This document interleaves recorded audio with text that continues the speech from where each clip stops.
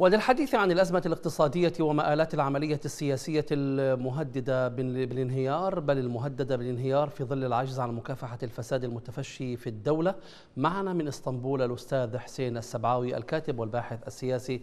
مرحبا بك معنا. أهلا وسهلا. حياكم الله. كما قرأنا في الأخبار مجلة فورين بوليسي تتحدث بتشاؤم عن الوضع الاقتصادي في العراق ومصير الدولة العراقية. ما الذي أوصل البلاد إلى هنا أستاذ حسين؟ يعني أعتقد التقرير قريب إلى الصواب بنسبة عالية جدا أن العراق مقبل على إفلاس وعلى انهيار اقتصادي وبالتالي أيضا سيكون هناك انهيار سياسي لهذا النظام. السبب أعتقد من وجهة نظري هناك سببين رئيسيين. السبب الأول وهو الفساد المستشري في الدولة العراقية من القواعد إلى أعلى هرم السلطة. هذا الفساد المنتشر افقيا وعموديا جعل من من الوضع الاقتصادي في العراق من المستحيل التنمية أو محاسبة هؤلاء الفاسدين. أما السبب الثاني أعتقد هناك عامل خارجي لتدمير العراق اقتصاديا وهذا العامل الخارجي وجد أفضل الوسائل وأفضل الأدوات التي يستخدمها في تدمير العراق وهم هؤلاء الموجودين على سدة الحكم لأنه لا يمكن أن يكون سعر النفط برميل النفط 30 دولار والكلام عن الأزمة الاقتصادية، في الوقت اليوم سعر البرميل النفط تجاوز ال 50 دولار وبنفس نفس الكلام ونفس النغمة، فإذا هناك عامل مبيت للاقتصاد العراقي متعمد في تدميره، ليس قضية أسعار النفط وإذا تذكرون سابقا كانت التقارير كلها تشير إلى نعم. تدني أسعار النفط، م. اليوم أسعار النفط تجاوزت ال 50 ألا نعم. يفترض بالحكومة والقائمين على اقتصاد البلد أن يتكلموا بأن الحكومة الحكومة أستاذ حسين قدمت يعني هي قالت أنها تحمل مشروع لإصلاح الاقتصاد ورقة إصلاح اقتصادي بيضاء كما أسمتها وتحاول يعني كما تقول هل تعتقد أن ذلك يكفي من أجل إصلاح هذا الاقتصاد المتردي؟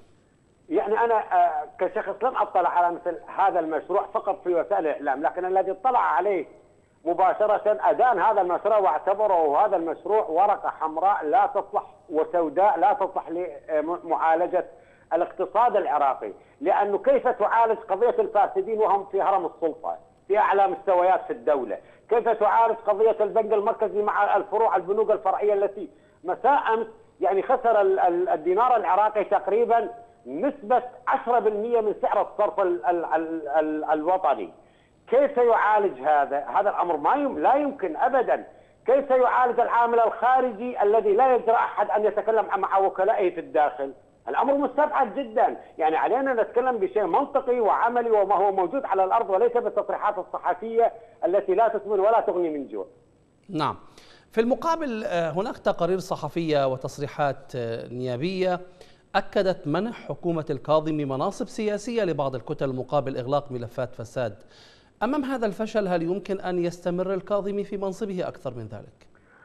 الكاظمي شرعيته من البرلمان ومن الكتل السياسية فبالتالي أنا أعتقد نعم سيستمر. لأن لأن هؤلاء الفاسدين لديهم كتل تدعمه.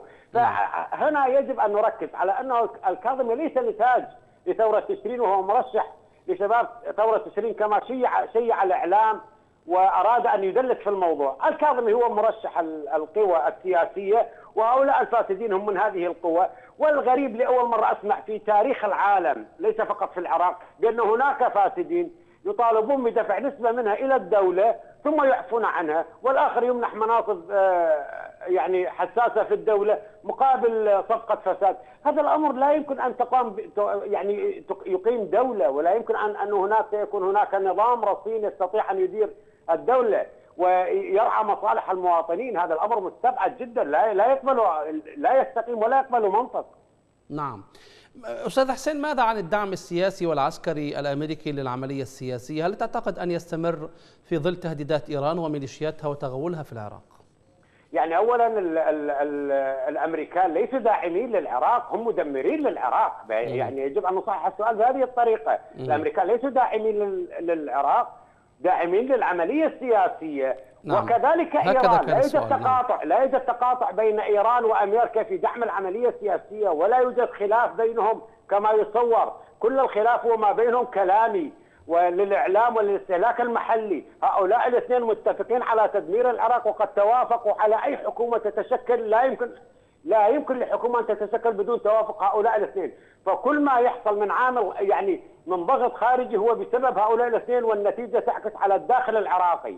لهذا السبب أعتقد الدعم مستمر والحاله العراقية في تشظي وفي تهاوي أكثر فأكثر إلى أن تنهى المؤسسات العراقية بكاملها ومن ثم يعلن الإفلاس آنذاك سيأتون بنظام جديد كذلك سيدعمونه، ما نعم. لم يكن هناك طيب. عامل آخر بالتوازي في نعم. هذا النظام بالتوازي مع ذلك كيف يمكن لحكومة أن تقايض مستقبل البلاد بمجرد علاقات مع دولة تستخدم العراق ستارا لطموحها في المنطقة ولتجنب العقوبات الأمريكية من جهة أخرى؟ يعني هو اللي يقرأ التاريخ يدرك أنه كل حكومة احتلال هذه نتيجة طبيعية لما تقوم به الحكومة العراقية. آه، بالتالي العراق هو ليس مستقلا ولا يحمل سيادة كاملة حتى نتكلم عن حكومة وطنية كيف تصنع. هذه الحكومات هي نتاج نتاج هذه نتاج الاحتلال وإيران وبالتالي هذه النتيجة هي طبيعية لا أستغرب من آه، أنه كيف يرهنون مستقبل بلد يعني هم من جاءوا مع الاحتلال وطلبوا منهم أن يحتل هذا البلد، ماذا نرجو كيف نرجو منهم الإصلاح؟ يعني والله الأمر لا يستقيم ولا يقبل منطق. نعم. يأتي مع الاحتلال ويقول تعال احتل بلدي، ومن ثم نطالب أن يكون هذا الذي طالب بالاحتلال أن يحتل بلده ان يكون هو المصلح وهو يا سيدي آه، فاقد الشيء لا يعطي.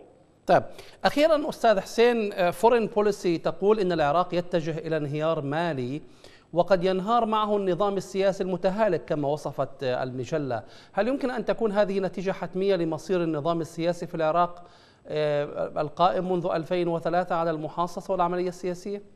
يعني لن تكن حت... نتيجة حتمية ستكون نتيجة متوقعة لأنه أي انهيار, أي انهيار اقتصادي سي... سيليه انهيار سياسي. يعني الأمر آه، آه، متوقع جدا آه، انهيار النظام السياسي في العراق نتيجة الانهيار الاقتصادي.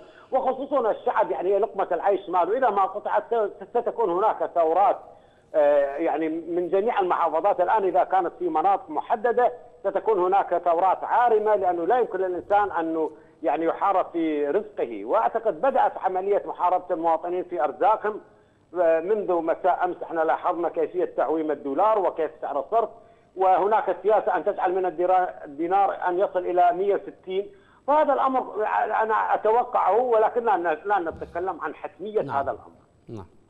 أشكرك جزيلا السيد حسين السبعاوي الكاتب والباحث السياسي كنت معنا عبر الخط الهاتفي من إسطنبول